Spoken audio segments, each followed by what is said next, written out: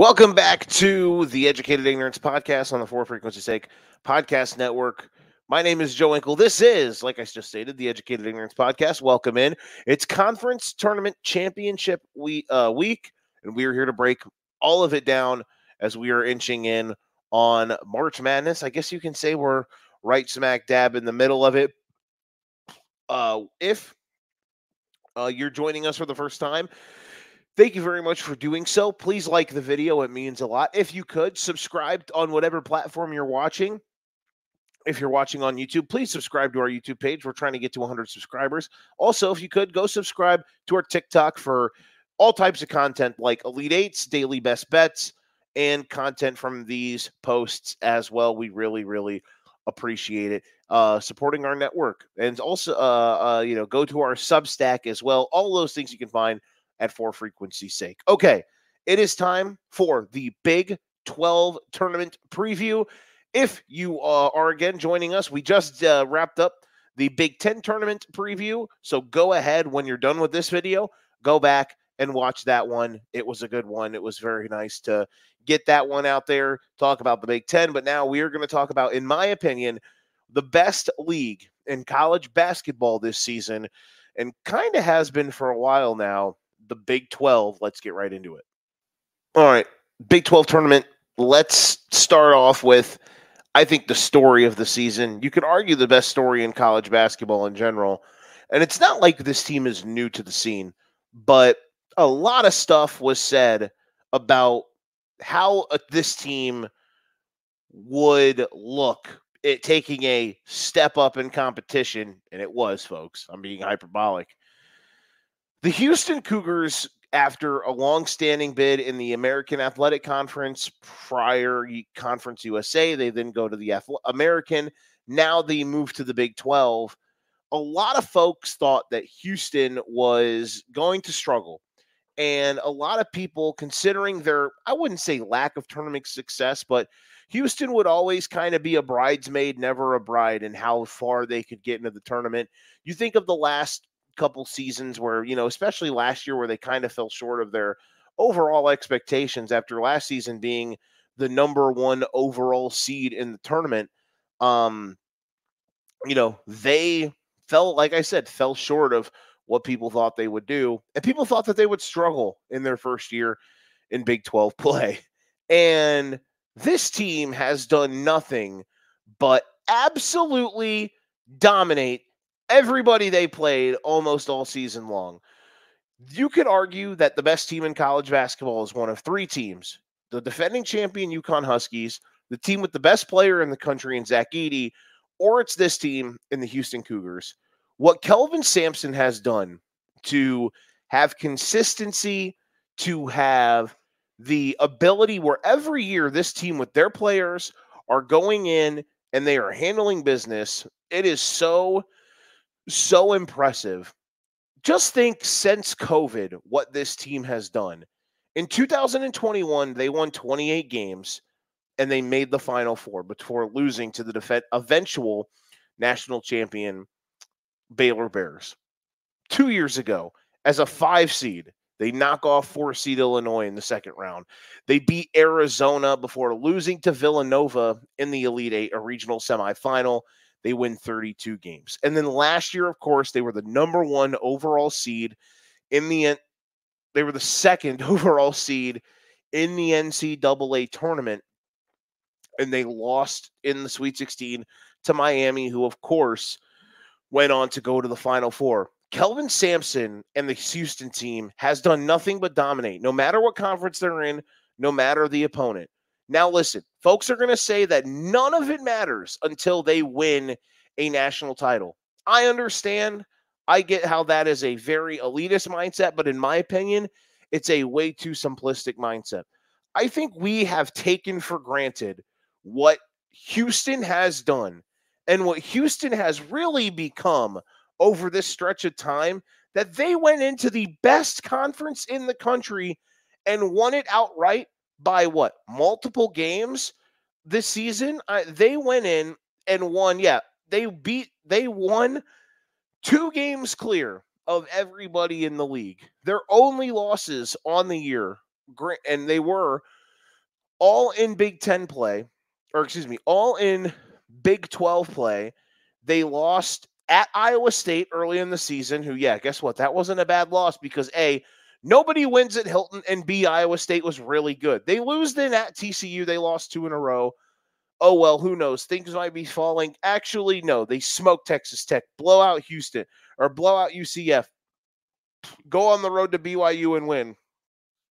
They hammer teams night in and night out. They had one stinker, and that game was at Kansas, but that was the one game really all season where Kansas has kind of came alive on the offensive end. Then they they closed the season by beating Kansas at home by 30. This Houston team is so good. They are so so dominant and it's going to be hard to not pick them to win it all. I really do mean that. And I know this two straight tournament cha- uh, previews where we're talking about the top seeds at length, but I think what Purdue's done this year is impressive because of the team that they have.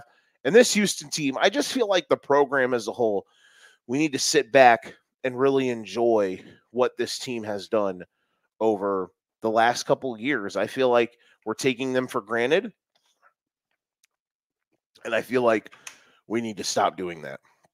Okay, let's take a look here at some of the best matchups early on in the bracket in the Big 12. I, we're going to talk about the bubble here in a second, but I do think this league has always been one for fascinating early day matchups. I think UCF Oklahoma State could be a very fascinating matchup on the first day, uh, and it could lead to some intriguing. Uh, you know, if UCF gets by, it could be a scare potential for BYU in that first round matchup for them. Uh, the second round matchup on Wednesday to kick the first, the second day of the Big 12, 10, 12 tournament off. Um, let's t- tie this into some bubble teams. There's a couple, there are, I think there are no doubt seven, six locks, seven locks in the NCAA tournament here. I think you could potentially talk me into nine. Um, I think, of course, just going in order Houston, Iowa State, Baylor, Texas Tech. What a bounce back year for Texas Tech, by the way. Pop Isaacs has been a just a wrecking ball alongside of all those guys down in Lubbock. Then you have BYU, Kansas, uh, Texas, Oklahoma, TCU are kind of fringe. Outside of that, I think Kansas State's about an arm's length away. I don't. I wouldn't say Oklahoma and TCU is a loser leaves town match by any stretch of the imagination. I do believe though that the loser could be in some potential trouble right now. Palm has both of them as nine seeds in their in his brackets. Um, he doesn't have. Uh, let me try to see here. He's he doesn't have any Big Twelve team, obviously. Uh, he's got Texas as well as a nine seed. If bid stealers get frisky, I think there's a world where Oklahoma could whoever loses the Oklahoma TCU game, they could be kind of in the fritz. Um, but both of them have 20 wins. I think both of them are are well in. Kansas State, Cincinnati, both have 18 wins, and I know we were we kind of talked in the Big Ten about how two of the bubble teams are Michigan State and Iowa, and they both are going into the their conference tournament with 18 wins. I just think that you know, finishing under 500 in league play. Now, granted, Oklahoma did that, but in the case of Kansas State, Oklahoma though also started the year so hot, and they have some like Oklahoma's case. Well, people are going to try to make a case more than likely against Oklahoma. They beat Providence by 20 points. They uh earlier in the season. They have some really good wins. They beat Oklahoma uh they beat Iowa State um they let's see here, looking for some other wins. They won on the road by 20 at Kansas State. Um, so so they have less of them. They did be they beat BYU at home. They have less of them as the season goes on. They have been in a bit of a tailspin after starting the beginning of the year. They lost by two at home against Houston um, at, on March 2nd. And man, that could have been a huge win for them just to get some huge momentum going into the Big 12 tournament. Um, and it could have probably locked them up. I think if Oklahoma lost to TCU, I think they could, and, and, and there were some bid stealers, they could get a little bit frisky. Just trying to compare some lines here. TCU also coming in on a bit of a fringe uh, slide. They lost to end their season against UCF. um, which is not a great loss. So UCF does have some some nice moments this season. They lose a nail biter at Texas Tech in the end of February. They lost at home to Baylor, uh, which is obviously these aren't bad losses by any means. I'm just pointing out some of their notable ones where they could have had chances, but a good win for them when te- when Oklahoma at the time was 13 and one. They knocked them off at home. They of course have the Houston win. Uh, so those are some some really good moments. They won in triple overtime at Baylor. So the reason I think that you can look at Baylor as a bit safe, bit more safe, a bit safer than a team like Oklahoma, TCU definitely has much better wins when you compare them head to head. And I think that is the one thing that separates the Big 12 from other leagues. Maybe that's why it is the best league in college basketball because you don't have these bubble teams. Like the Big Ten has two bubble teams, but again, they only have, in my opinion, five teams that are no doubt locks for the NCAA tournament. Uh, a, t- a conference like the SEC, they've got, you know, I think they're the second best league in college basketball. They have probably six, uh, six locks and a couple teams that are like right on the fringe. Um, like a team people think are going to make the tournament is Ole Miss, and they're the 10 seed in the SEC. I don't get it, but what do I know? Um, we'll talk about that when we talk about the SEC. Um, uh, but a, a big the Big East, who I still think is a good league, but the Big East, the middle of the Big East, has nothing but bubble teams when it comes to Seton Hall, St. John's, Providence, Villanova, even. So, like, there's a lot of bubbleism in like the Big East. I think the Big 12, and I think it, it's you could say it's a if you want to say it's a it's a testament to the strength of the league. I think that's fair. Just going off of the fact that I mean we're talking about them having nine teams, no doubt will be on called have their name called on Selection Sunday. I think that's pretty damn impressive. All right, time for the predictions for the Big 12 tournament. In the semifinals, the first team to make it, I am going to predict, of course, the one seed, the Houston Cougars. I think they are just rolling right now. They'll play the winner of TCU Oklahoma. I know Oklahoma gave them hell in their game, and they lost at TCU, but on a neutral floor, give me the Houston Cougars, my friend. All right, they will go against in their sem- in their semifinal, Texas Tech. Um, not to keep chalk here, but I just think that the matchup wise, like, you know, I think they'll match up with a BYU, UCF, Oklahoma State. Those are the teams that they could play. I think that their style, the way they guard, I think it's going to be a a a a, way, a, a style that they can handle, and I, I think that is going to be uh, uh, Texas Tech in the Big Twelve semifinals. Down on the bottom of the bracket, oh baby, um, this could get interesting. I'm tempted to go chalk, but I'm not because I'm not boring. We're going to take Hook'em Baby, the Texas Longhorns stamping themselves into the NCAA tournament. No more ifs, buts, or coconuts. This team is finally getting healthy. They're kind of starting to play better. Um, they have some moments where you wish that goodness gracious that they would just you know, figure it out and have a stretch. Like, can you give me two weeks where you don't have any dumb stuff happen? The they they were so good for 30 minutes against Baylor, and then they just kind of shat themselves down the stretch. Um, but this team has their moments where they've been good, like especially as of late. So the last couple weeks, they go to Texas Tech and win by 12. They come home and handle business against Oklahoma State. Then they beat Oklahoma and end the season by 14 the Baylor loss, if they want to finish that off, you're you're thinking of Texas right now is maybe starting to get hot. I like the way they're playing. They've been getting healthy throughout the last half of the season. Um, of, course, with Abmas and Dylan Disu and Dillon Mitchell and Tra- Travis Hunter and uh, you know, or Ty, excuse me, Tyrese Hunter.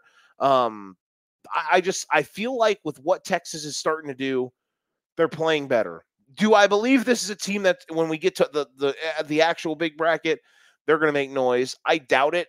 But in this situation, they're going to match up with Iowa State. I think that's a, you know the game could get ugly, and at the end of the day, I, I trust some of their shot makers more.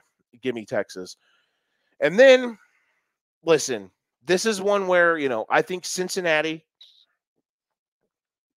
knocks off West Virginia. I think there's a world where Cincinnati knocks off Kansas, but give me Baylor.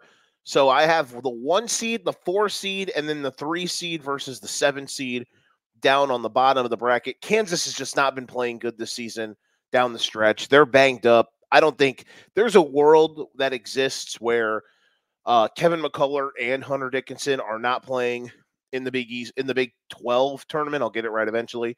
Um, so give me in the final Houston versus Baylor and give me Houston to win. I just feel like right now, listen, the Houston Baylor matchup will be fascinating.